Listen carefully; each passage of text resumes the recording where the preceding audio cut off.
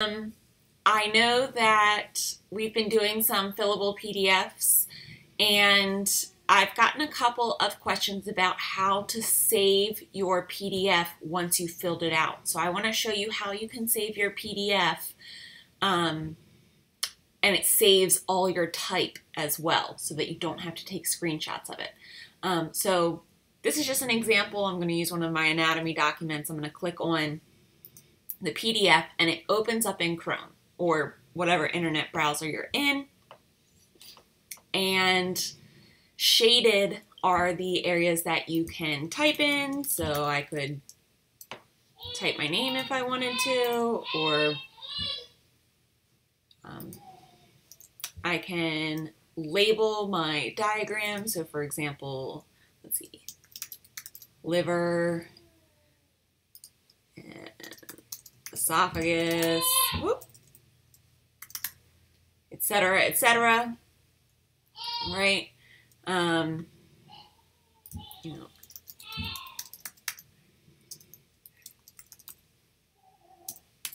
Okay, so I've gone through and filled things out.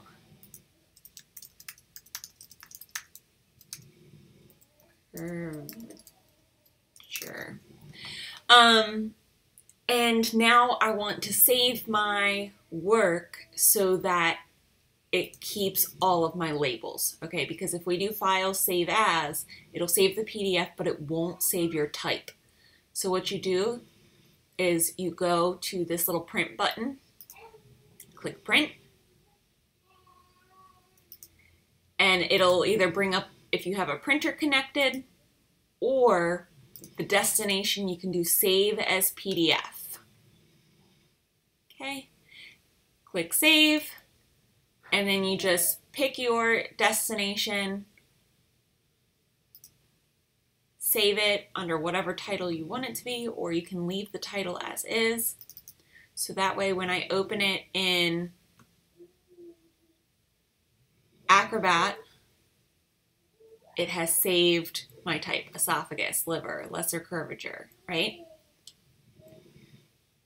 So hopefully that helps you so that way you can do your fillables um, on the internet and then easily save them with all your type.